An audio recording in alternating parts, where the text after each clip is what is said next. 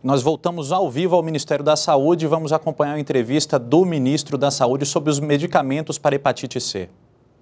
Que durava 48 semanas, quase um ano. Essa medicação é oral e nós usamos uma média de apenas 12 semanas. E o mais importante, o outro tratamento mais demorado, com mais sofrimento, só curava aproximadamente 50% dos casos. E essa droga nova tem a capacidade de curar acima de 90% dos casos. Então, é verdadeiramente um tratamento revolucionário que estamos introduzindo hoje aqui no Brasil, através do Ministério da Saúde, que eu equiparo esse momento histórico que nós estamos vivendo àquele lá atrás quando nós iniciamos o tratamento da AIDS, com os antirretrovirais daquela época. Porque nós temos, só para dar uma dimensão, aproximadamente 700 e poucos mil pessoas portadoras de AIDS e devemos ter aí um, 1 milhão e 400 mil pessoas portadoras de hepatite C, que levam a cirrose hepática, que levam a câncer de fígado e que levam a transplante de 30% a 50% dos transplantes em adultos decorre de hepatites virais.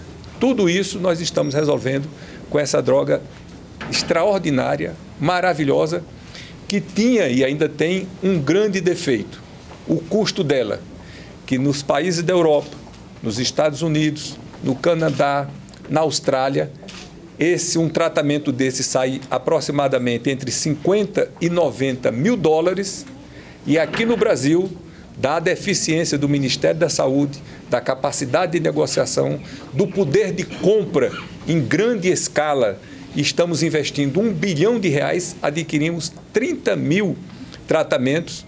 Nós estamos comprando isso por 9,6, 9.600 dólares, o que é uma coisa extraordinária. E eu quero aqui, nesse momento, render minhas homenagens àqueles que fizeram, que estiveram à frente desse tratamento, que foi o doutor Nardes, o doutor Fábio e o ex-ministro Quioro. E vai Isso vai pedir... todo mundo, ministro? Nós adquirimos 30 mil tratamentos e até agora nós só temos cadastrados 11 mil. Mas essa previsão é para um ano. Como nós estamos com três meses fazendo o cadastramento, sem nenhuma dúvida nós iremos é a, é expectativa atingir os 30 mil tratamentos previstos para este ano. Quando esse disponível, ministro, para a população? Não, esse remédio já está disponível aqui no, no DF, porque chegou agora, e para todos os estados do Brasil já está saindo nos carros né, da mesma maneira que a gente distribui as vacinas, estamos distribuindo esses remédios. Então, no máximo, dentro de 10, 15 dias, em todos os postos em todas as secretarias de saúde do Brasil, do, dos estados do Brasil, esse remédio estará à disposição daqueles que estão cadastrados. Quem é que deve receber esse tratamento? Quem deve receber esse tratamento são aquelas pessoas portadoras de hepatite C que preenchem o protocolo preconizado pela Organização Mundial de Saúde. São aqueles que têm fibrose hepática em nível F3 e F4, são aqueles que têm fibrose hepática em nível F2, mas com mais de três anos de biópsia. São aqueles que têm uma co-infecção com a AIDS. São aqueles que vão se submeter ou já se submeteram a um transplante de fígado, porque aqui é um aspecto muito importante, porque muitas pessoas que eram transplantadas eram reinfectadas e agora com esse tratamento, com 90, mais de 90% de cura, a gente espera então que não haja mais reinfecção. E no cenário de dificuldade orçamentária, não corre o risco de faltar dinheiro? Já foi pago esse, esse medicamento? Esses 30 mil tratamentos adquiridos já estão quitados. Então, é uma, uma história já finalizada para nós. Ministro, é, como é um medicamento muito caro, é, vai ter algum esquema específico de segurança para fazer a distribuição?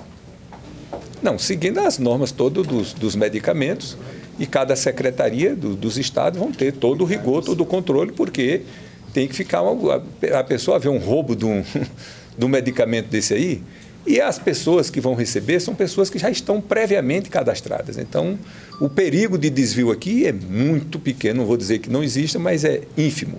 E do desenvolvimento de genérico, ministro, visto que é um medicamento caro, a possibilidade de desenvolvimento do medicamento no Brasil? Bom, isso, isso nós não estamos tratando disso ainda, né?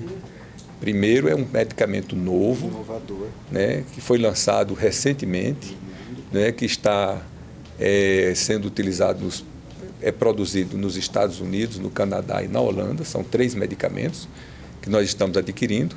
Então, o primeiro passo é esse daí. Então, posteriormente, no futuro, né, quando houver quebra de patente e tudo mais, a gente pode pensar nessa alternativa aí.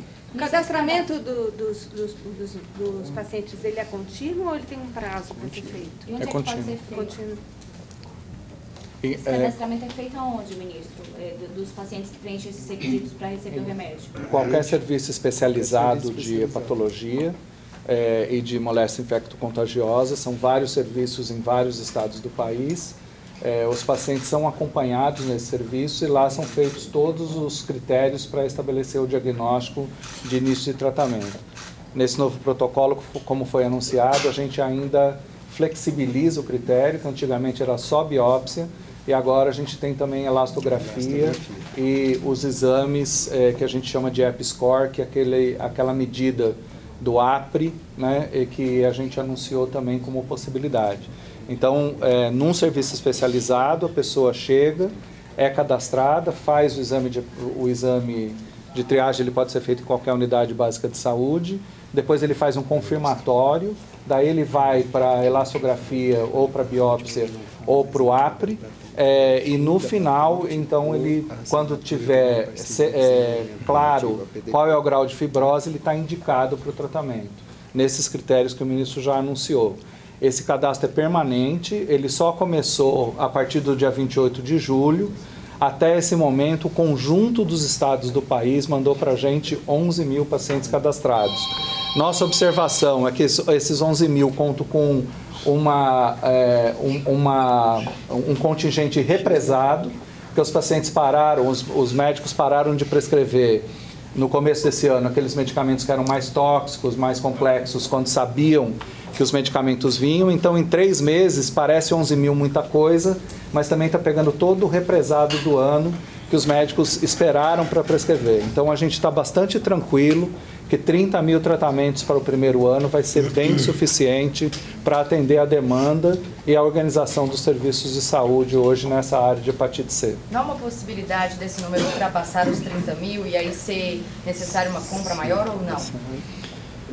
É, pode haver essa possibilidade, sempre existe uma flexibilidade na compra, é, mas se isso acontecer, nós temos mecanismos é, que possam garantir essa flexibilização na compra, mecanismos dentro da legalidade. Só para entender o cronograma, eu fiquei com uma dúvida. São três medicamentos. Dois já vão estar disponíveis em alguns estados a partir de agora. É, dois- dois já- de dois dezembro. Não, Já dois já chegaram. O outro medicamento está chegando na próxima semana. Nós estamos dando um prazo até novembro para não ter nenhuma dúvida.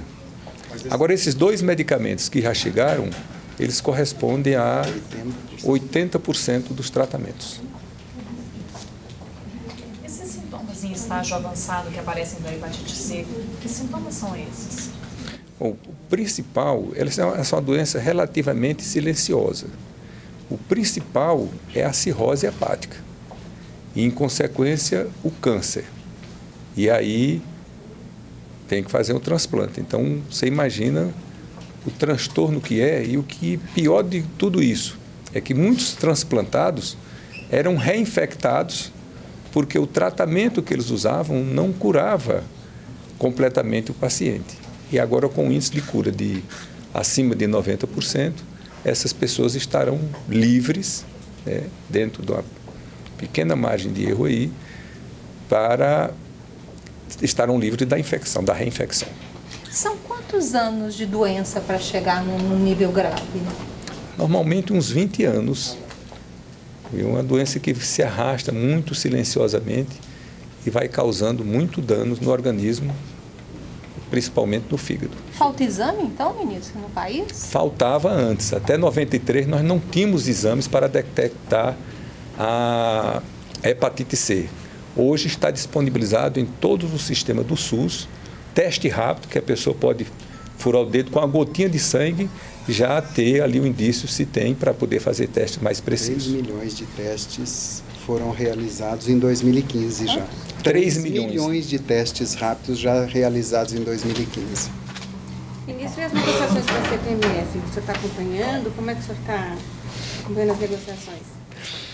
Bom, o, a CPMF é uma proposta do governo federal para conseguir mais recursos né, para ajustar o equilíbrio fiscal do governo. O que é que nos interessa aqui no Ministério da Saúde? É que esses recursos não vá só para a Previdência, como foi proposto inicialmente. Então, a nossa proposta é que esses recursos vão para a Seguridade Social, como está sendo proposto pelos governadores do Estado e pelos prefeitos né, brasileiros.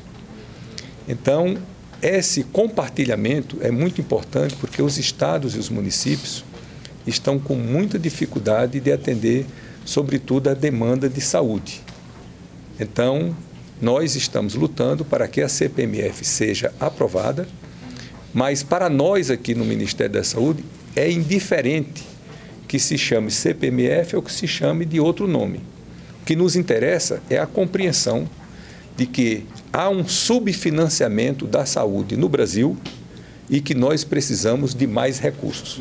E essa luta é uma luta que o Ministério da Saúde tem a obrigação de empreender para poder melhorar o nível de atendimento da nossa população, melhorar o nível de saúde da nossa população. Qual que o senhor acha que seria o orçamento razoável para a área de saúde, ministro? Olha, isso é uma coisa muito complexa, né? A tendência de qualquer ministro da Saúde é dizer que, que o orçamento precisa ser muito maior. Mas nós estamos sabendo a dificuldade que o país está vivendo né? e nós temos que fazer a negociação, como estamos fazendo, com o Ministério do Planejamento, com o Congresso Nacional, para se chegar a um valor razoável de orçamento. O momento que nós estamos vivendo não é um momento apropriado para uma luta é exitosa no sentido de se conseguir mais recursos, dada a dificuldade e dos cortes que está havendo em todas as áreas. Então, se a gente conseguisse manter o Ministério da Saúde sem cortes, eu acho que já seria uma grande vitória. Com, com relação ao orçamento desse ano, o senhor disse? Não, do próximo do ano. Próximo ano. Próximo ano. Mas, ministro, você já tomou pé O desse ano está garantido já. Deste ano, então, esses cortes que aconteceram nesse ano foram bastante altos, cerca de 13 bilhões. É. Como é que está? Qual o risco de afetar ainda alguma ação, alguma iniciativa deste ano? Tem Olha- algo que o senhor, o senhor já percebeu, viu que vai ter um aperto aí? Estamos. A dificuldade é muito grande, o orçamento está muito apertado, mas nós estamos com tudo equacionado e nenhum, nenhuma assistência médica deixará de ser realizada por falta de recursos esse ano. Tudo está programado para a gente virar o ano né, com todo o atendimento feito e pago, ser garantido sem nenhum problema. Vamos lá, ministro. Obrigado, gente. Obrigada. Obrigado. Obrigado, ministro. Nós podemos voltar a qualquer momento com outras informações. Continue na NBR, a TV do Governo Federal.